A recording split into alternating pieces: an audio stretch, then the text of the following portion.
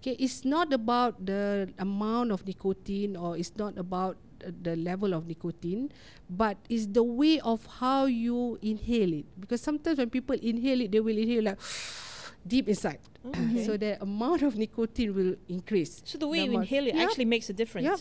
It's make a difference. Oh. The more the the absorptions inside the body, the absorptions to your lungs, oh, okay. it's also made a difference.